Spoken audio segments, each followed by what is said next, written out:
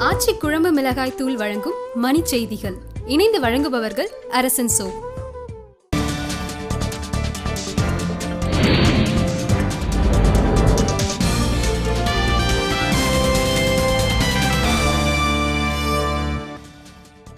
ஆந்திர மாநிலம் ராஜமுந்திரியில் கோதாவரி புஷ்கர நீராடலின் போது ஏற்பட்ட கூட்டு நெரிசலில் சிக்கி பத்து பேர் பலி.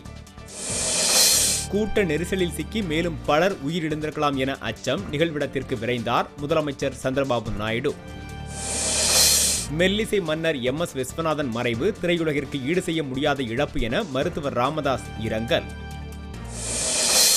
பழம்பெரும் இசையமைப்பாளர் எம். எஸ். விஸ்வநாதன் உடலுக்கு பாடகி சுசீலா ஜானகி உள்ளிட்டோர் அஞ்சலி. நிலக்கரி சுரங்க முறைகேடு வழக்கில் மதுகோடா மீதான குற்றச்சாட்டுகளை பதிவு செய்ய உச்சநீதிமன்றம் ஆணை. பிரெஞ்சு குடியரசு நாள் விழாவையொட்டி காரைக்காலில் உள்ள பிரெஞ்சு ராணுவ வீரர்கள் நினைவிடத்தில் அஞ்சலி. அலைக்கற்றை ஒதுக்கீடு முறைகேடு வழக்கில் இறுதிவாதம் தொடங்கியது டெல்லி சிறப்பு நீதிமன்றத்தில் ஆர். ஆசா உள்ளிட்டோர் முன்னிலை.